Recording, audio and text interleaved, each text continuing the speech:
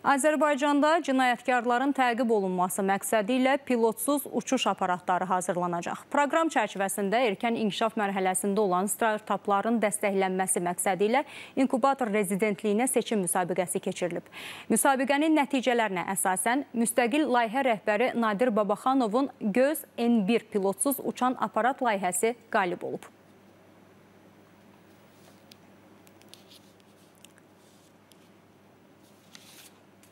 PUA-lardan mümkün qədər kompakt, istifadəsi asan və tamamilə modul olması ilə fərqlənir. Hətta istənilən hava şəraitində istifadə olması bəzən digər PUA-lardan onu daha üstün edir. Göz N1-in xüsusi forması və aerodinamika bizə istənilən ərazidə onun 30 saniyə döyüş vəziyyətinə gətirmək imkan verir və onun kompakt ölçüsü daşınma zamanı heç bir çətinlik yaratmır.